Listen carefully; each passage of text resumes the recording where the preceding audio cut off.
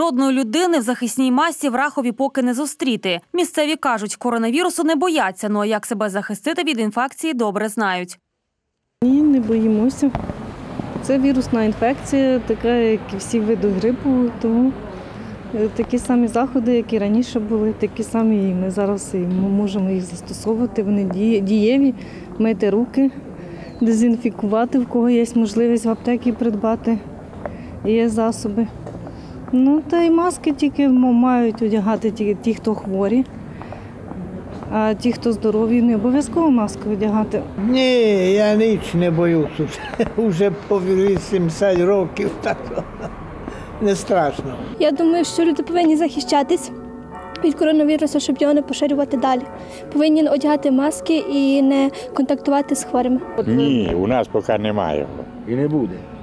Я думаю, що і не буде поки. Тим часом в районній лікарні запевняють, до можливого поширення коронавірусу в медзакладі підготовлені.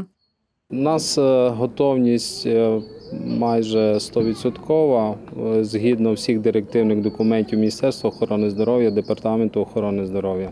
Того тижня у нас проведена комісія ТЕП-ТНС при голові райдержадміністрації, де було відпрацьовано алгоритм дій всіх служб на випадок виникнення підозрілих на захворювання на коронавірус, а також е, обсервацію контактних осіб.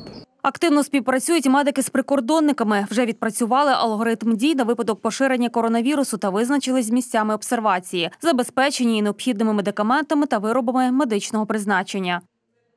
Обсервація знаходиться в окремому е, нашому відділенні. Е, Раніше це був туберкульозне фтизіатричне відділення, окремий корпус, медичний корпус, який ізольований від е, компактного проживання нашого населення, і виділено 15 ліжкомісць для обсервації контактних осіб. Запас медикаментів і виробів лікарського призначення у нас створено окремо, виділено, проведена дезінфекція і навчання медичного персоналу на випадок виникнення підозрілого е, випадку на коронавірус. Однак, як кажуть медики, поширення коронавірусу краще попередити, а це залежить і від самих людей.